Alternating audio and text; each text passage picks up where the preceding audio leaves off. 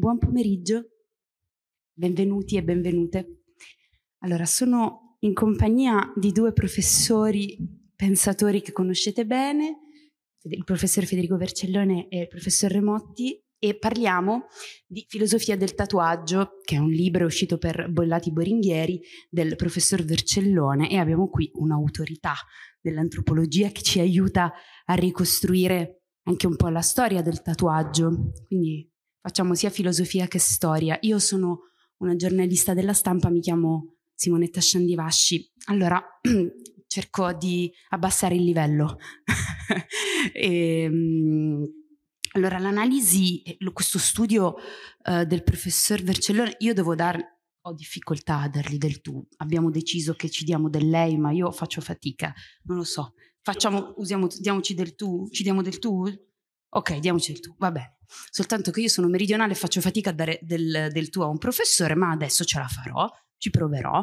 Ehm, no, allora, è, mh, mm, è un saggio sul tatuaggio chi non è tatuato, la sottoscritta, secondo me anche un po' dei presenti, però effettivamente ci sono in giro molte persone tatuate, è una cosa che sembra un fatto di moda, in realtà il tatuaggio, come spiega benissimo il professore c'è sempre stato, quello che io noto ultimamente è che il tatuaggio è crescente, nel senso che le persone che sono tatuate a un certo punto tendono a coprirsi di tatuaggi e ho sempre immaginato che fosse una cosa legata all'esperienza, no? Cioè a un certo punto è successo che um, è stato deciso, non lo so, ma insomma è successo che tutto quello che ci segnava doveva finire sulla nostra pelle e peraltro è, è per restare impresso, no? per, per dimostrare che c'era stato. Il che è interessante perché invece poi la pelle con i tatuaggi fa un'eccezione a quello che di solito fa la pelle perché non assorbe. Invece quando tu pensi alla pelle, no, è qualcosa che, che assorbe. Invece il tatuaggio non scompare mai a meno che non si decida di, di, di, di operare per, per, rimuoverlo. Però il, la riflessione del professor Vercellone, che è ovviamente molto più eh, profonda della mia, è una riflessione innanzitutto innanzitutto sull'identità e in particolare sulle comunità. E mi sembra che sia questo punto, uno dei punti centrali del, del suo lavoro. Perché non riusciamo più ad essere società ma siamo solo microcomunità che però non trovano un punto comune, per la stessa ragione per la quale ci tatuiamo tantissimo, e cioè che non non ci riconosciamo eh, se non nella nostra singolarità. Ciascuno di noi ha la sua identità e la sua verità e pretende di non trovarla nel racconto degli altri, ma di dirla da sé. Per cui tutto quello che è una parte della filosofia, io penso sempre a Cavarero, che è stata una mia, un, un mio, una mia fissazione, quando lei diceva ci riconosciamo nel racconto dell'altro e l'altro che ci dice chi siamo, sparisce in realtà in questo gioco del tatuaggio, perché col tatuaggio io ti dico chi sono e lo scrivo e ti dico che cosa mi è successo, sono in quello che mi è successo. Quindi, professore, io vengo alla prima domanda. Cosa ci dice rispetto alla domanda sempre aperta sull'identità, che mi sembra che sia no, il nuovo mistero del nostro tempo, il nuovo grande interrogativo del nostro tempo? Questo bisogno di scriversi, disegnarsi addosso. Ok, Bene, tanto grazie infinite di questa presentazione, grazie infinite della sua presenza e della presenza del professore Motti, e grazie al pubblico e grazie al circolo. Eh, effettivamente è un libro strano perché un libro su tatuaggio sembrerebbe più un libro da antropologo, da sociologo, che lo scriva comunque uno studioso d'estetica è, è più singolare, insomma. Però è, è, un libro che è nato dall'idea di, eh, per l'appunto quello che diceva prima Simonetta Divasci, di eh, una crisi sostanziale dell'identità eh, nel mondo contemporaneo, nel mondo globale, e dall'idea parallela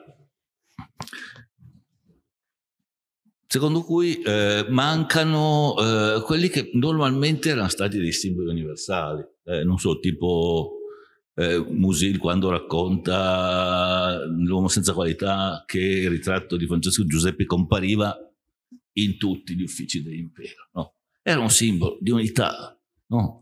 millenaria, plurimillenaria.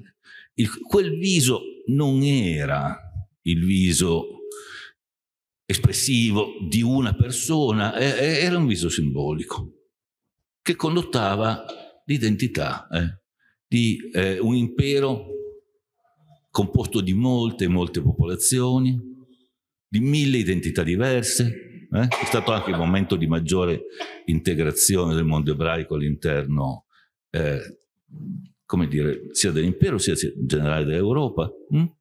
Era l'unità del molteplice, era ciò che noi chiamiamo universale, ma incarnato. Eh, eh, fisicamente. Così pure, eh, come dire, nel, nell'impero romano, eh, da, da, altri punti di vista, c'erano altri trascendentali figurativi, no?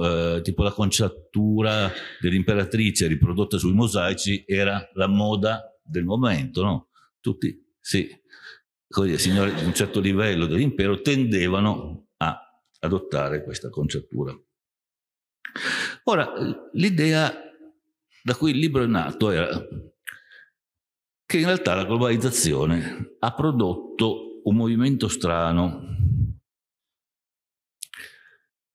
Cioè è vero che siamo tutti connessi gli uni agli altri, che in ogni momento abbiamo possibilità di parlarci, di dirci delle cose, private, pubbliche, eh, con un dislivello che è sempre minore tra il pubblico e il privato.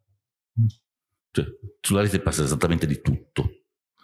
E, e, e quasi tutto diventa consentito a parte alcuni modi, temi eh, che, come dire, sono quasi a livello diciamo penale, ma insomma per tutto il resto a seconda di è tutto molto nuancé ed è tutto molto semi consentito più che consentito, non sai esattamente cosa sia consentito, cosa non sia consentito, cosa sia legale, cosa sia sì, sai cosa è legale, ma non sai cosa cosa sia eh, come dire eh, cosa faccia parte eh, del modo d'essere di una certa società che rispetta certi costumi, no? che vengono continuamente, ehm, come dire, eh, trasgrediti. Eh? eh?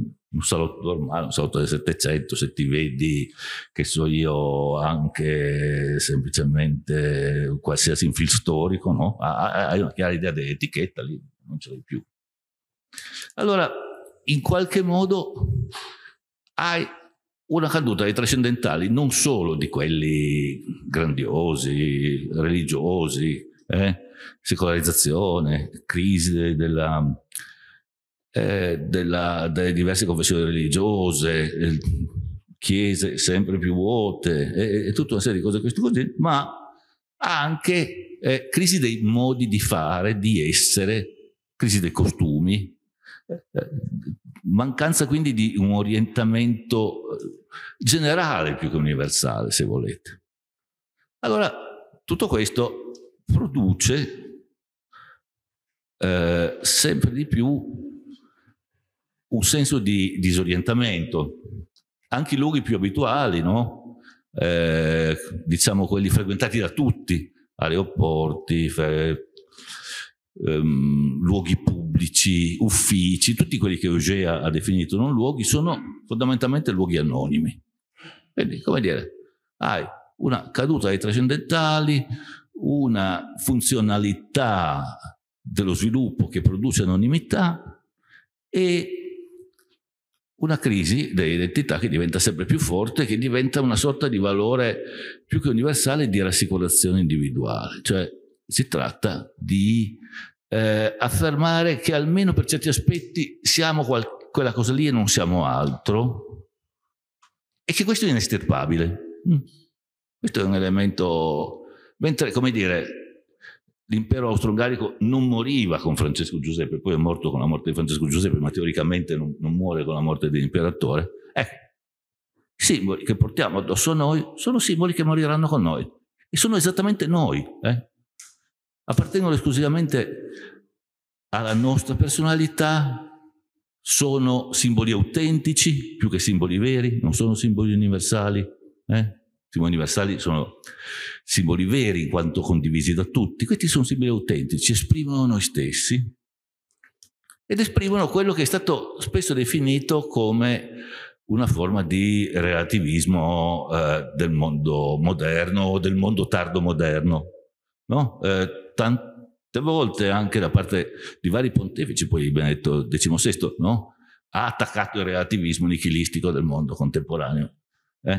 In realtà l'impressione che io ho, perlomeno come osservatore di un paesaggio, non come eh, non sulla base di, di come osservatore di, di, certi comportamenti sociali, ho sempre più l'impressione che non è vero che ci sia relativismo, ho l'impressione che ci sia una sempre maggiore eh, e perentoria affermazione di individualità molteplici, le quali non riescono a trovare un terreno comune di dialogo.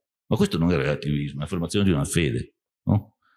Che poi la fede possa essere eh, quella, eh, come dire, in una squadra di calcio per cui ti identifichi quasi fosse tutta la tua vita, che sia quella per eh, eh qualche credo esoterico, che sia una fede più, come dire, più colta, una passione per eh, Martin Heidegger, per dire. Ecco, non ha molta importanza, l'importante è che si tratta di tutte connotazioni che eh, ti conducono a dire chi sei e a difenderti dall'insicurezza della comunicazione generale, a ritrarti. Dunque, la cosa che mi colpiva del tatuaggio era il fatto che in realtà non viviamo più in una società. Questo è il problema. Noi non siamo più una società. E questa è la crisi della democrazia. Siamo un insieme di comunità le quali eh, compongono un mondo globale, che sono però relativamente isolate le une dalle altre e si comunicano dei messaggi che fondamentalmente non sono partecipati. Sono dei messaggi nei quali puoi riconoscerti o non riconosci, ma fondamentalmente sono dei messaggi anaffettivi, no? anche quando sono pittoricamente affettivi oppure esageratamente affettivi. E quindi un mondo che è sempre più fatto da gruppi, da eh, mini, in cui, come dire, da, da villaggi, mh? Hm? tribù, eh? In cui c'è una prima pelle che è la tua, quella su cui ti segni, su cui ti metti la zampetta del cane, su cui ti metti il nome della persona che ami, su cui ti metti eh, il nome del nuovo Dio che hai scoperto. Ma poi in realtà c'è una seconda pelle che si allarga oltre la prima, che è una pelle altrettanto sensibile, e che è quella eh, dei Morales, della, eh, quella che ricorre sempre di più nelle periferie, cioè quella di attarsi della pelle ai confini della comunità che tu stai vivendo e che sta oltre e al di qua della società. No? Mm. Per cui, come dire, eh, c'è, un ritorno all'amore per il villaggio indiano all'idea del concludersi un ortus conclusus che è quello della tua vita in cui circola tutto, i tuoi sentimenti, il tuo modo di essere, il tuo modo di vivere, no?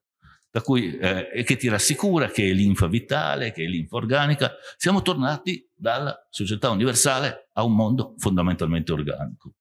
La scomparsa del nudo è abbastanza interessante da questo punto di vista, qui concludo il primo giro, perché nudo è sempre stato dalla, come dire, dal, nella cultura classica, in quella classicistica, eh, l'idea che fondamentalmente tutti gli uomini, se tu li spogli, cioè se prescindi da usi, costumi eh, personali, dalle loro culture, sono uguali gli uni con gli altri. Infatti, non a caso, la cultura classicistica era la cultura rivoluzionaria, la cultura illuministica, era eh, ehm, Napoleone stesso, no? vestito da stoico, non era nudo, ma insomma c'era l'idea che il mondo greco fosse un ideale di democrazia, no? eh, tutte le decorazioni anche di, del centro di Berlino, l'ha mostrato Ostbredekamp, no?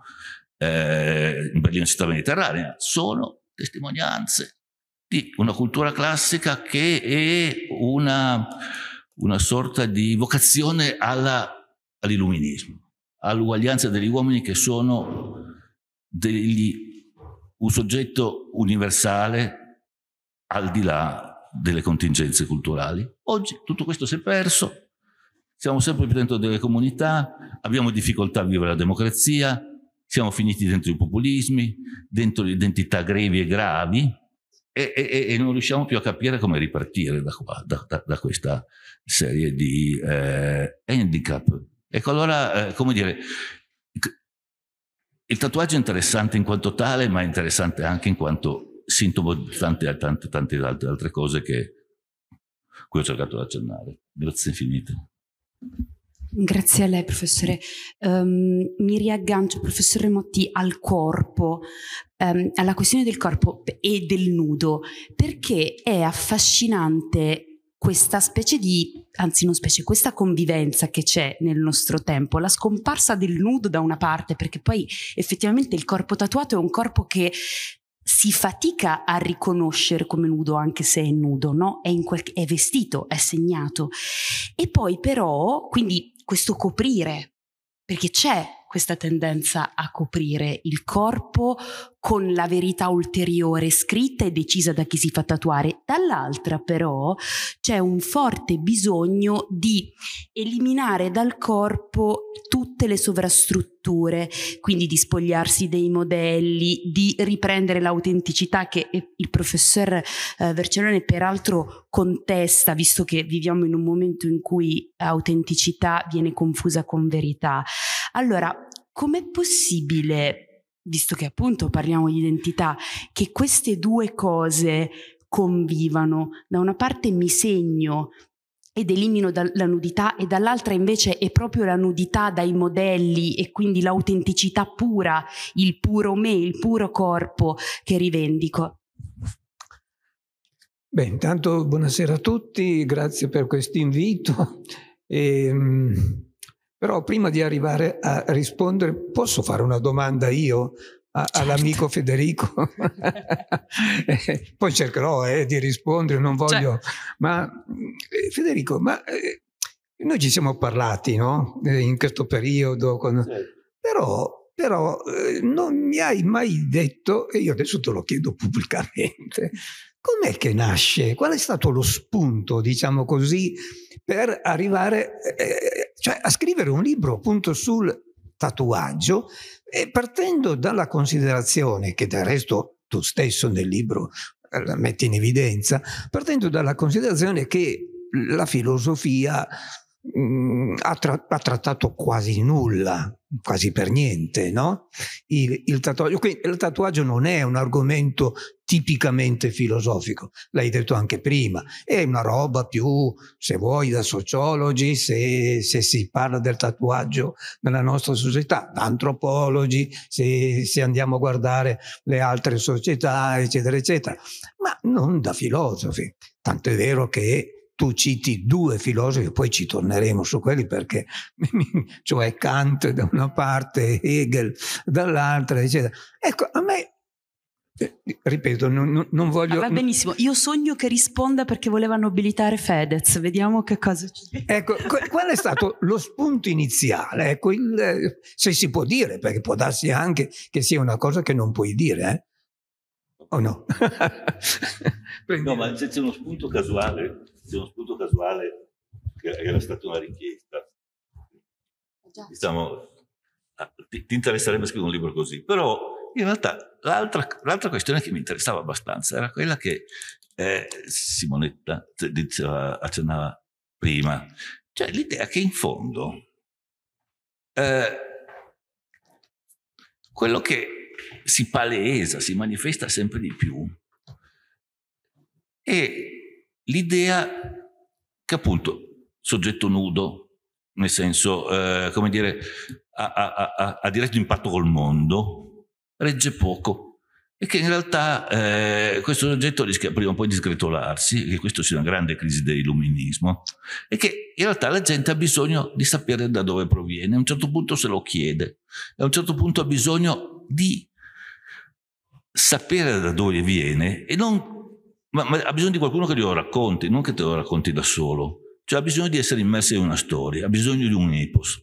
E allora comincia a crearsi un sacco di piccoli epos, no? E questa è una domanda più vicina all'estetica, che è la materia che studio io, filosofia, in fondo l'arte ti racconta sempre una certa storia. C'è quel racconto di, di, di Burger molto bello, no? quando nella storia della civiltà greca, che quando i mongoli scappavano sempre, che non volevano combattere con i persiani, a un certo punto i persiani dicevano siete dei, dei, eh, dei vili, perché eh, non combattete? E loro dicono, ma insomma, siamo un popolo nuovo, cosa se ne importa? Cambiamo, no? Pascolo, cambiamo zona, ma lo facciamo d'abitudine. Però attenzione, se verrete a toccare le nostre tombe noi vi attaccheremo. Eh? Cioè, senza l'origine un, un soggetto non sta, non sta, in piedi proprio. Allora era questo che, è da lì che ho ripreso. Quindi diciamo così, il tatuaggio come uno dei fattori, degli elementi, diciamo così, di questa ricerca di diciamo di identità, visto che sì. avete usato già questo termine, è questo che vuoi dire. Identità narrata, di una ecco. storia. Ah, ecco, eh, insomma, questo... Ecco, no, io sono... Eh, insomma, eh, ho, quest, ho, letto questo, questo, libro e mi ha colpito, ecco, a proposito del, del nudo. Certo, eh, eh, eh, quando si parla di tatuaggio certamente c'è di mezzo la faccenda del nudo e questo, e questo non soltanto nella nostra società, ma un po' in tutte le società, no?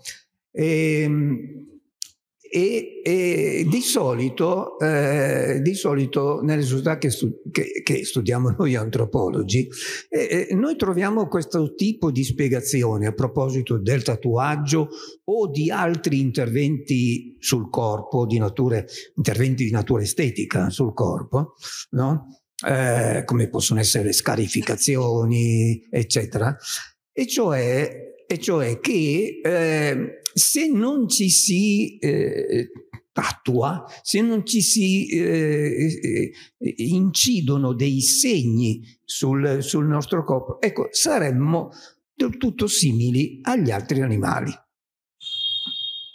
che sono nudi sono nudi e, cioè, e, e, non fanno nulla, diciamo così, no? per, eh, per, modificare per modificare la propria epidermide, no? Eh, okay?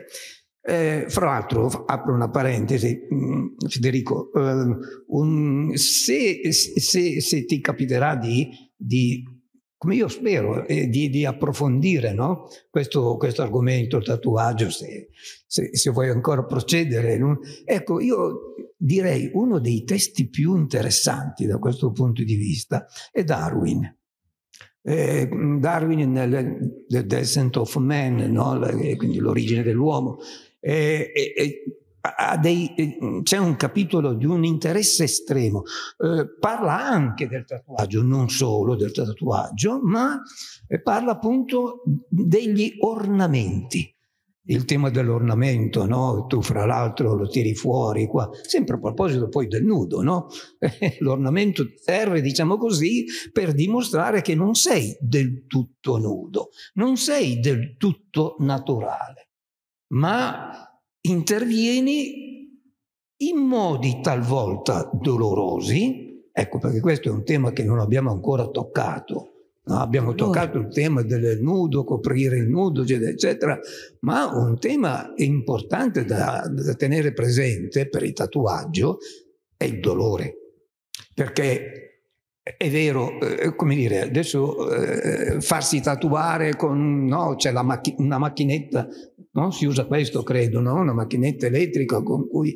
Con, e insomma dà un po' fastidio, ma è una cosa sopportabile. Ma se adesso facessimo vedere, ecco, chiedo ai nostri collaboratori, eh, potete farci vedere la, la numero, eccolo qua, ecco, questo è un tatuaggio, un bellissimo tatuaggio, vi piace? Questo è un capolavoro, è un'opera d'arte. Hm?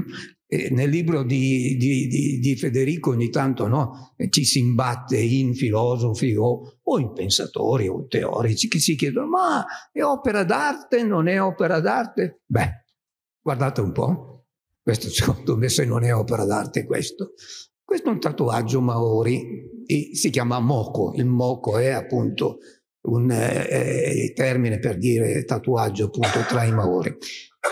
e, e per ottenere questo risultato, nei, nella società tradizionale dei Maori, e si interveniva in questo modo, no? c'era una specie di, di ago, diciamo, al, al, eh, all'estremità di un bastoncino, poi con una sorta di martelletto. Hm? Questo ago veniva immerso in un pigmento, in una sostanza colorante, e poi con il martelletto, tac, tac, tac, no? Voi capite che per ottenere questo risultato ce ne vuole e ci vuole anche tanta, tanta pazienza, ci vuole anche tanta sopportazione, sopportazione del dolore, è dolorosissimo. Guardate, guardate questo tatuaggio, riempie completamente il volto di questo guerriero. Questo tipicamente è un guerriero maori. Hm? Mi chiederete, ma tutti? No, soprattutto i guerrieri. I guerrieri, guerrieri specialmente, diciamo così, la, la classe aristocratica, diciamo, questa, di questa società. Mi domanderete le donne? Le donne un po' di meno. Eh? Le donne venivano tatuate specialmente nella parte, nella parte inferiore del volto. Ma per ottenere questo tatuaggio passavano anni. Passavano anni. Adesso, se io ancora mi concedete ancora un minutino, poi... Eh? Anche dieci. No, no, no, no, perché non voglio... Ecco, nel libro di, di Federico, io ti chiamo così perché... sì, tra amici sì. Ecco, c'è una citazione, c'è una citazione di un grande filosofo, eh? di Emmanuel Kant. E io, io non, non, non conoscevo questo passo e me lo sono dato eh, seguito e sono andato a leggermi poi l'intero paragrafo. Mm? E dice questo Kant, sentite, è un po' involuto, eh, ma, ma Federico ce lo spiega, se del caso. Si potrebbe adornare un edificio con molte cose piacevoli, piacevoli immediatamente all'intuizione, ma cose piacevoli, fermiamoci qui. Non...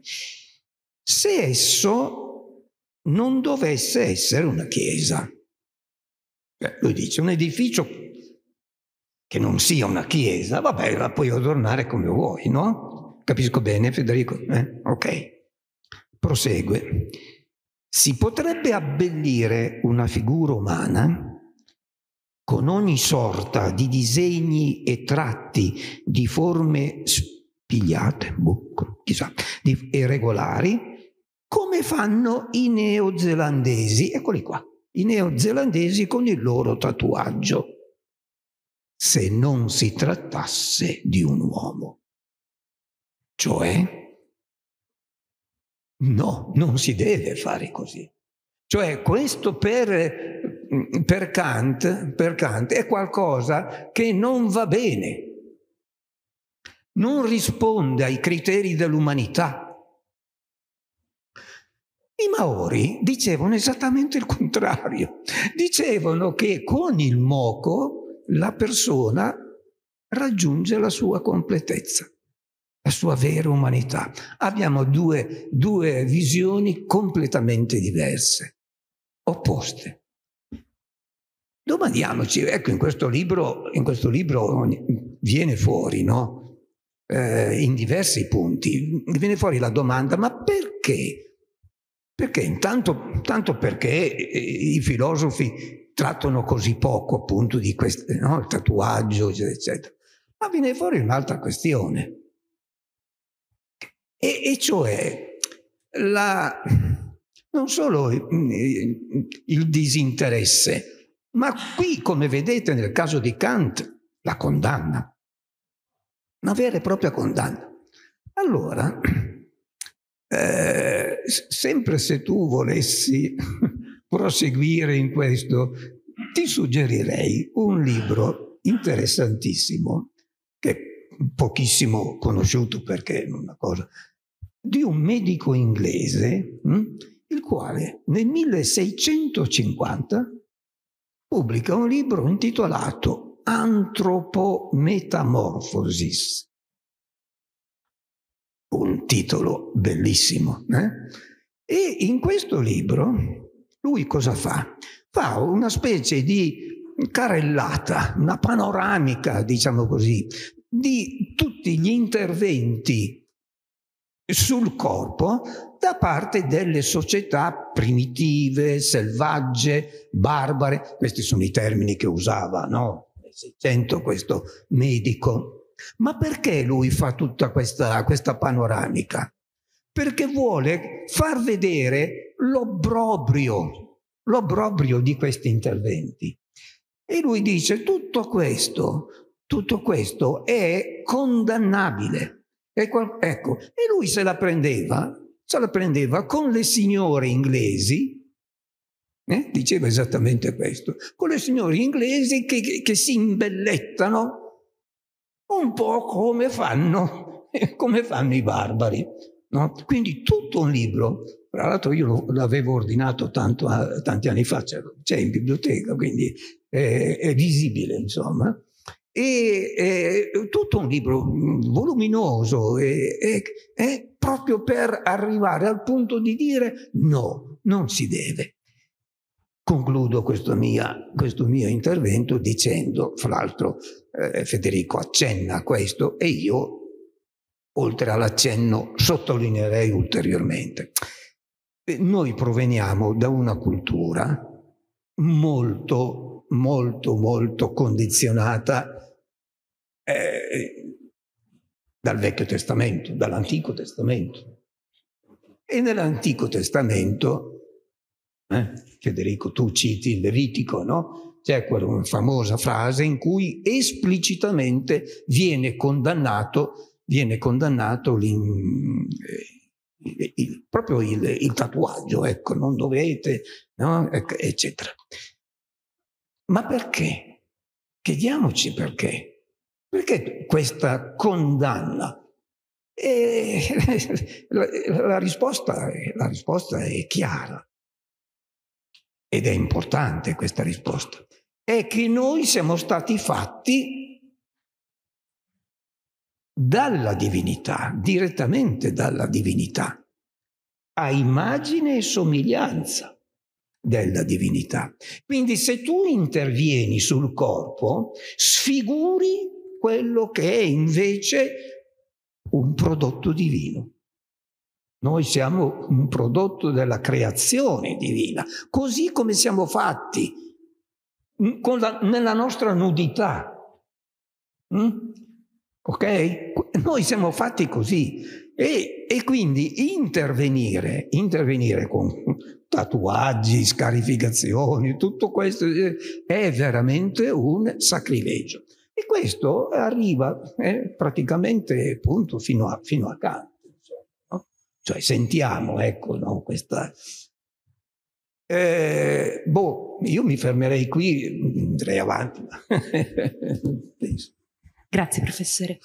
Rispetto alla condanna che adesso naturalmente non c'è più, insomma, eh, io ricordo che fino a qualche anno fa ai commessi era sempre e alle persone che in generale hanno rapporti diretti con il pubblico era sempre consigliato di non tatuarsi le mani. Adesso non c'è più questo pregiudizio, però professore che cosa ci dice il disegnarsi il corpo in un momento appunto in cui non è più neanche un modo per come dire, differenziarsi, visto che lo fanno tutti. Ecco, che cosa ci dice lo scriversi addosso ehm, rispetto alla scelta?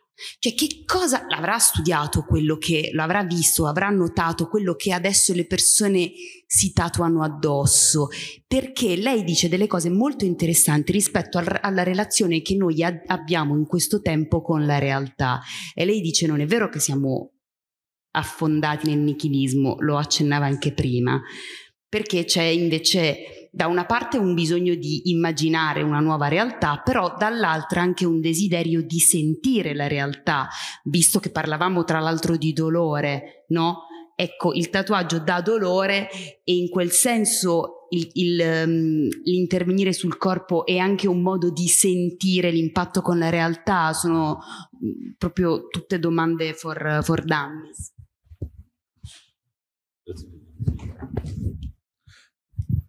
Grazie mille.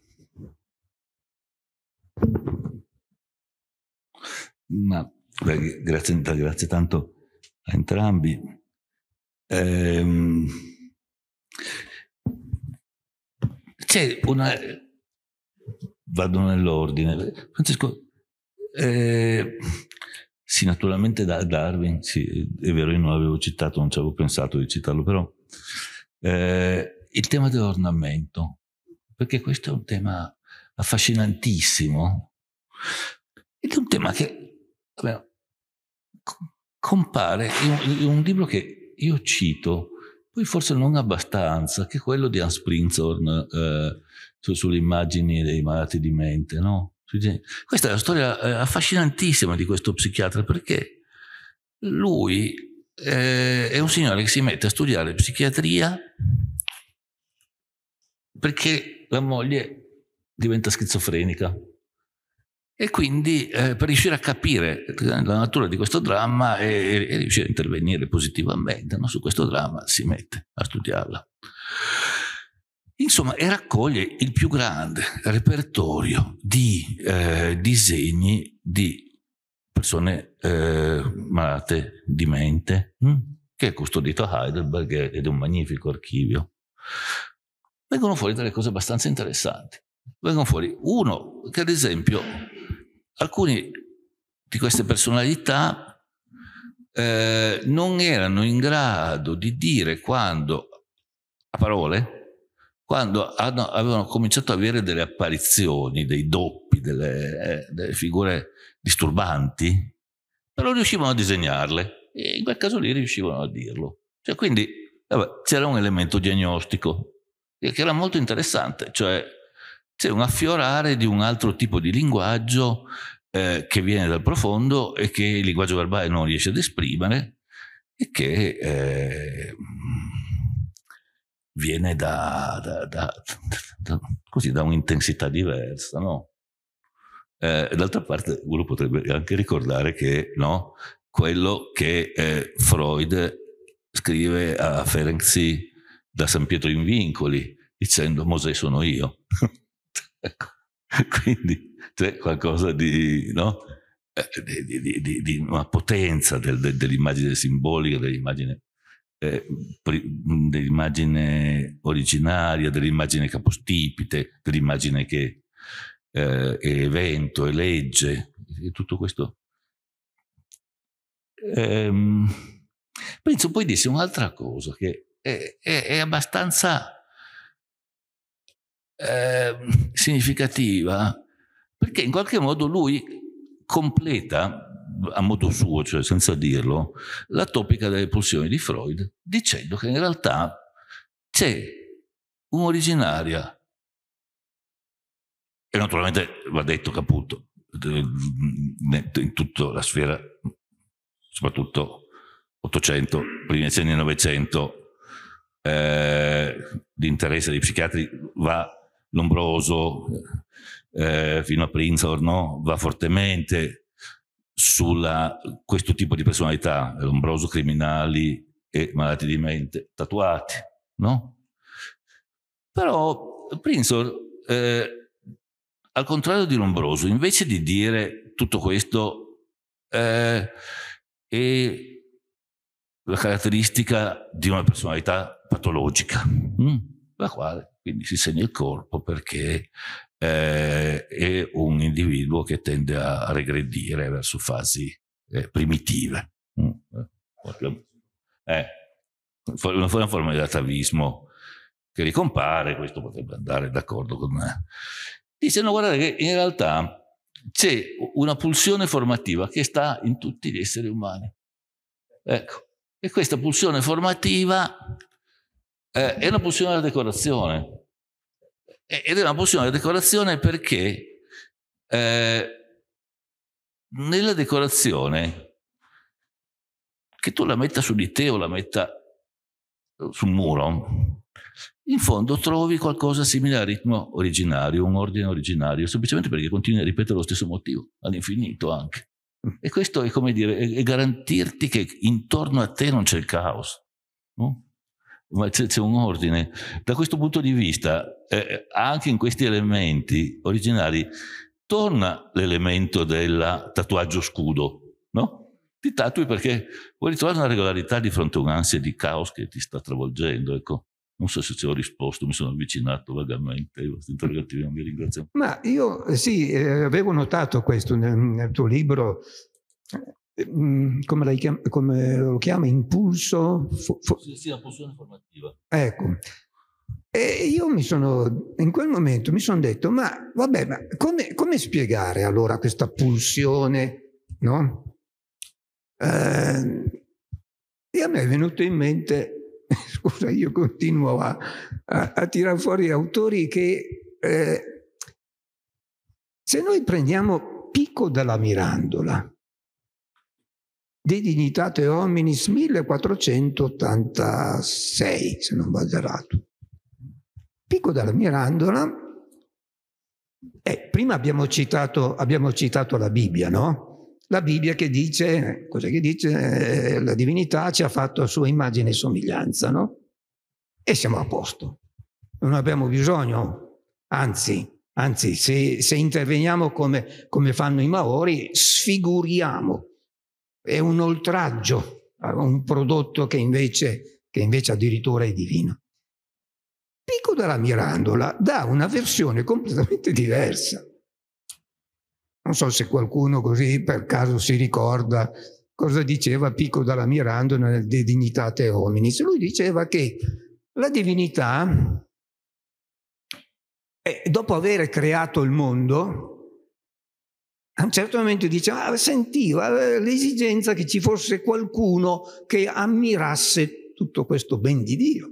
È il caso di dire, no?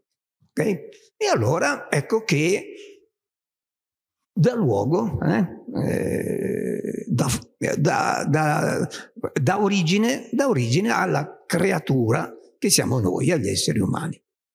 Solo che, e questo fa un po' ridere, no? Solo che la divinità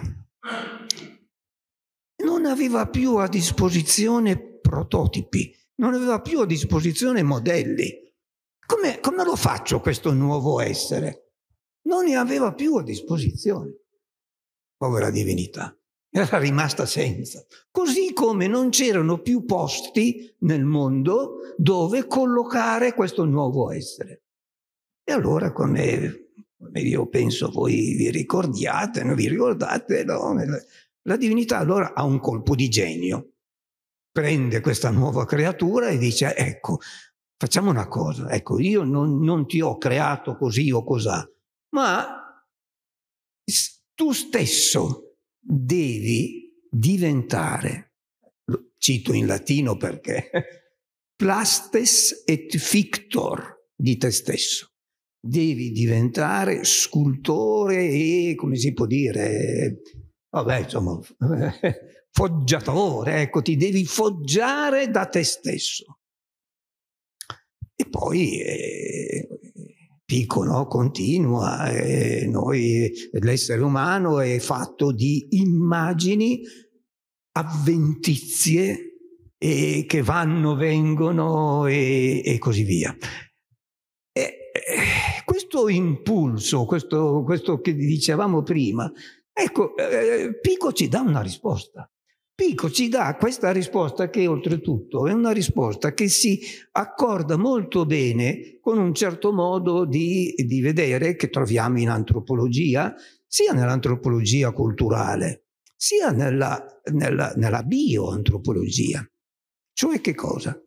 È l'essere umano come un essere, come un essere, qualcuno direbbe, incompleto eh, come un essere carente, fra l'altro in filosofia troviamo filosofia tedesca no, del Novecento e troviamo tutta una lunga tradizione di, no, che, che, ecco. E quindi questa necessità, necessità da parte di questo, di questo essere di dare forma a se stesso.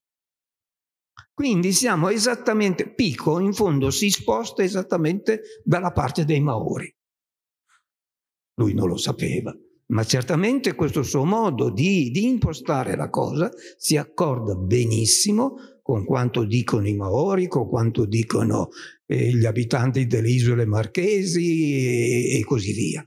E cioè per diventare umano devi foggiare te stesso in qualche modo. Poi i Maori fanno così, eh, i Caduveo, i, i Caduveo dall'Amazzonia facevano in un altro modo. No? Caduveo, vi racconto questo, sono il Caduveo dell'Amazzonia, anche loro, eh, anche loro eh, eh, il, eh, utilizzavano il tatuaggio, poi a un certo momento chissà perché hanno abbandonato la pratica del tatuaggio e si sono dati invece a quest'altra pratica, quella cioè di disegnare, fare dei disegni sul volto. Ed erano le donne a fare questo. I disegni sul volto, con una caratteristica, che tutti questi disegni, fra l'altro studiati da un nostro eh, come dire, compatriota, come si dice, eh, Boggiani, eh, uno che eh, era di, di, Novara. Alla fine dell'Ottocento lui si trovava esattamente tra i Gaudoveo e eh, abbiamo appunto la documentazione di Boggiani ecco, su, queste, su, queste, su queste figure no? interessantissime. Dicevo, la caratteristica di questi disegni era la asimmetria. Cioè, il nostro volto è normalmente simmetrico, no? eccetto che ci sia qualche problema. No? Ok, ma normalmente. Ecco, loro con i loro disegni invece davano luogo a delle asimmetrie. Eh, un po' per dire, gli esseri umani non sono perfetti, nonostante tutte le apparenze, e noi mettiamo in luce la simmetria. Ecco, voglio dire questo. Io a leggere questo libro, eh, pur non essendo un esperto di tatuaggi, di altri, cioè un po' me ne sono occupato, ma non è che sia proprio... Però io un po' ho avuto questa impressione che eh, in antropologia eh, noi riusciamo a studiare, o siamo riusciti a studiare, perché poi le cose cambiano, le società cambiano, quindi la globalizzazione c'è, c'è, riguarda anche altre società, eccetera. Dicevo che noi troviamo in queste società vere e proprie culture del tatuaggio, se si tratta di, di, tatuaggio, di scarificazioni, se si tratta di scarificazioni, dei disegni eh, no, eh, facciali, se si tratta... Cultura, intendo dire un pensiero, un pensiero coltivato, un pensiero condiviso, un pensiero approfondito. Questo mi piace, ecco, questo lo potrei, vorrei trasformarlo in una domanda da, eh, che rivolgerei appunto all'amico Federico, no? Non hai un po' l'impressione che, come dire, certo, con questo libro, per esempio, tu contribuisci a trovare un senso. Questo comunque è il tuo obiettivo. Trovare un senso a questa pratica. Dici, ma come mai a un certo momento viene fuori questa pratica del tatuaggio, no? Che prima magari non c'era o c'era, o c'era poco, era, era assai più marginalizzata, ok? Adesso invece, ecco, trovare un senso, trovare, ecco, però io ho l'impressione, ho l'impressione che, che non ci sia una cultura del tatuaggio. C'è una pratica del tatuaggio, ma una pratica, mm, diciamo così, un po', un po povera da un punto di vista culturale. Eh, dico questo perché eh, eh io ricordo una, una ventina di anni fa e quando appunto mi occupavo di interventi estetici sul corpo, eccetera, tra cui tatuaggio, avevo seguito alcune, eh, alcuni miei studenti, studentesse, che avevano fatto alcune tesi sui, sul tatuaggio qui, nella nostra, nella nostra società, quindi a Torino, in Piemonte, eccetera, no? E, e, e, loro avevano intervistato sia i tatuatori e sia i tatuati, eccetera. Ecco, la sensazione, la sensazione che avevamo era che effettivamente le motivazioni erano più di tipo socio-psicologiche che non culturali. Non so se mi spiego. Eh, eh, ecco, eh, allora, come dire, va benissimo, è importante, non è che... Però, però ecco, mentre invece in, questo tipo di società, ecco, troviamo, troviamo una vera e propria cultura del tatuaggio. Un, vi porto un esempio, un esempio eh, ecco, le isole Marchesi. Le isole Marchesi sono un caso classico de, del tatuaggio, anche perché anche perché, eh, come si chiamava, il, mamma mia, eh, l'esploratore Cook, ecco, no? Cook era arrivato eh, di fronte alle isole marchesi, ehm, stanno per, per, per, approdare e lui vede, lui e i suoi, i suoi marinai vedono schierati no? eh, sul, sul, sulla spiaggia, no? numerosi abitanti delle, di queste isole e loro pensavano che fossero vestiti. Poi si avvicinano, eh, no, sbarcano e non erano vestiti, erano nudi, ma in realtà erano tatuati dalla testa ai piedi. E infatti questo è stato uno dei primi, eh, forse il primo caso, diciamo così, di eh, scoperta del tatuaggio che ha avuto poi in Occidente, no, quando Cook ritorna, eh, insomma è venuto fuori una cosa, ah, insomma, cosa che ha, che ha colpito. Parentesi quadra. Fra l'altro il termine tatuaggio viene proprio da questa fonte qui, cioè da Cook. Cook il quale, eh, eh lui in inglese tattoo, tattoo, no? e, e, e questo termine e, riproduceva termine polinesiano simile a questo, no? Che, che, è un onomotopeico, è il suono, è il battito del martelletto, ta ta ta ta ta ta. Ecco, questo volevo dire, no? Concludo questa, questo esempio di cultura del tatuaggio.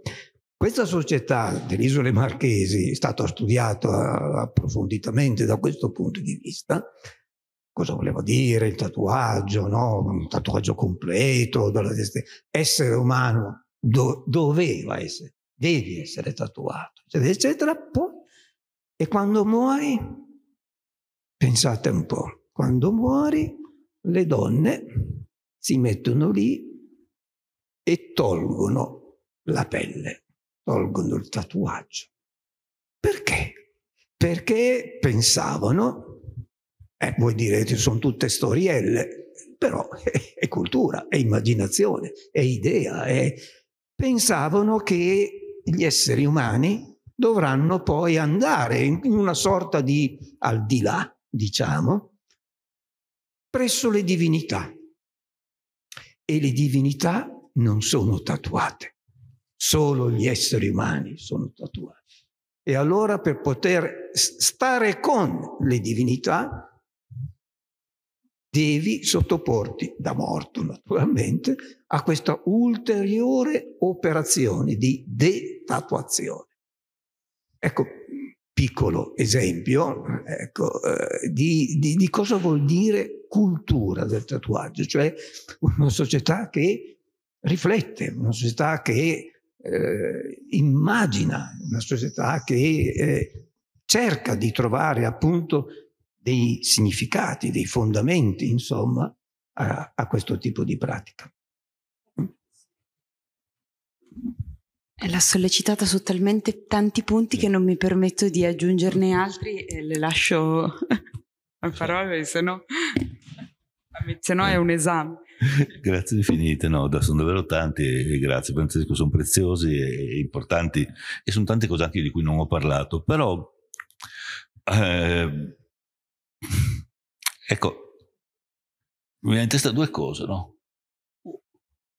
Uno, quando parlavi, che non riguarda in senso proprio il tatuaggio, ma ci si avvicina molto, è, è l'elogio del maquillage di, di Baudelaire, no?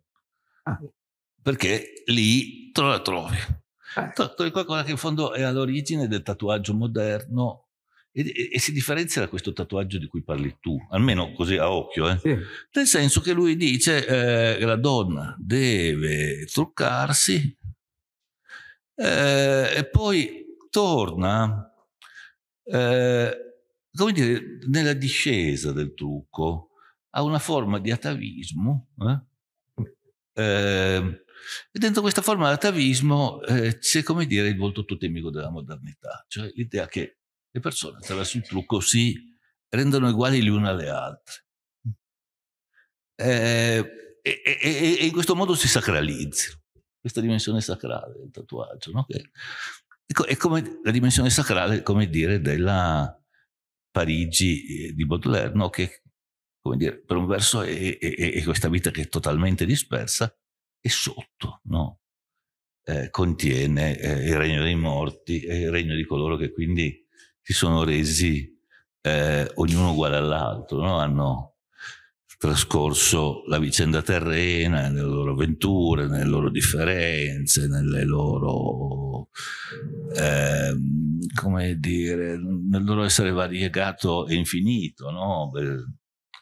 E, e sono tornati all'origine, che è una. Quello, e questo sembrerebbe poter essere molto il modello di tatuaggio che tu richiamavi, cioè il tatuaggio originario, laddove nel modello di tatuaggio contemporaneo eh, sembra esserci qualcosa che non è una cultura del tatuaggio, ma, no? ma è ehm, una eh, esigenza di libertà che viene dal tatuaggio, non di uniformità. Cioè, in questo caso le persone vogliono essere e, te, e dare testimonianza pubblica del loro essere diverse le une dalle altre, di poter esercitare attraverso questo gesto la propria libertà, di poter essere difformi rispetto al corpo sociale e grazie a questa difformità di poter soddisfare l'esigenza della loro eh, unicità e peculiarità. Mm-hmm. E quindi si rendono preziose, non si rendono... In questo caso, mentre nel caso che dicevi tu il tatuaggio è stile, no? Mm. In questo caso il tatuaggio non è stile, ma è eh, un'eccezione ripetuta, è infinitamente ripetuta. Scusa, posso int- scusami. Con piacere. Ecco, guardate questo tatuaggio qua, il moco. È una cosa che mi sono dimenticato di dire che però va a integrare un po' il discorso che abbiamo fatto adesso. Ogni persona era tatuata in modo singolare, cioè, è ir, cioè lo stile è quello, no? se tu vedi, lo potete vedere anche su Google, se, se voi andate, no, vengono fuori queste cose, ormai sono tutte, vedete che lo stile, queste volute, eccetera, eccetera, ma, ma nessun tatuaggio era uguale, identico all'altro.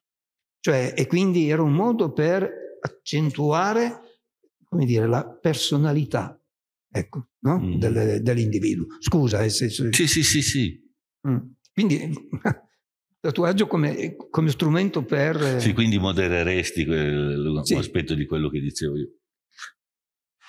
Sì, sì, no, forse però resta, almeno penso, eh, una, una, forma uh, di stilizzazione dell'individuo che sì. è abbastanza... Sì. Eh, si ripete secondo un partner, no? Sì, lo stile è quello. Sì, sì, certo, ecco, lo stile cioè, no, Su questo non c'è. M- mentre, mentre, qui non hai un partner, hai una serie di eh, partner molto diversi. Addirittura c'è un tatuaggio, ad esempio, dei, dei, dei, dei criminali di Dombroso. Hai eh, uno stile eh, piuttosto monotono. Mm. Mm. Eh, in Giappone, come sapete, il tatuaggio sì. è proibito, cioè anche lì non puoi accedere alle saune, a certi luoghi pubblici se sei tatuato perché eh sì, come dire, è sintomo che tu sei un dropout, no? sei al di fuori eh, della compagine sociale. Allora, tutto questo ambito del tatuaggio quando poi viene recuperato socialmente comunque ti riporta a una dimensione che è moderna quanto l'altra, nel senso che tutta, da, da, a partire da 800 ci sono due movimenti che sono totalmente opposti, cioè uno, eh, che so io, eh, partire dalle art and crafts di Morris eh, all'idea che viviamo in un mondo troppo difforme, che c'è bisogno di uno stile unico, no? Per cui, eh, ad esempio, eh, Morris comincia a lavorare per togliere le insegne pubblicitarie dalla città perché la rendono troppo difforme, eh, eh, guastano lo stile. Quindi la modernità è troppo diversa da se stessa. Dall'altra parte però c'è anche la spinta, la spinta contraria, l'idea che in realtà il mondo moderno è un mondo che rende tutti troppo omogenei, troppo simili gli uni agli altri. E da questo punto di vista, e torniamo più dentro il discorso di questo tatuaggio, più che del tatuaggio cui giustamente facevi riferimento, cioè l'idea di non essere schiacciati da questo mondo, ma di, di poterci resistere. Tant'è vero che poi in fondo il tatuaggio eh, non solo attraverso il dolore, e il dolore è una dimensione singolare, in qualche modo rip- cioè, probabilmente ripete in maniera, eh, come dire, poco consapevole e, e neppure quotata l'idea però del, del, del, del, sacrificio cristiano, cioè che ah, il dolore è la verità no? e, e, e, della vita. Eh, ma probabilmente tutto questo elemento non è eccessivamente consapevole, però è vero che nel, nell'elemento del dolore c'è eh, anche l'esperienza che non è il tatuaggio, però che appartiene a gruppi che, come dire, praticano entrambi, o possono praticare entrambi, cioè di, di quelli che fanno hanging, che si appendono con, con degli uncini, no? Allora, lì dentro, in effetti, c'è la descrizione che a me ha colpito molto, poi non ero tanto avanti perché, come dire, mi, mi, mi, non, non, non, simpatizzavo, ecco, mi faceva un certo così, che la questione del dolore, fino a un certo punto, se, ti, se tu resti appeso, è dolorosissimo. Poi ha una tale scarica di adrenalina, per cui è esattamente Dionisia Coniciano, cioè tu diventi empatico col mondo e non lo senti più il dolore.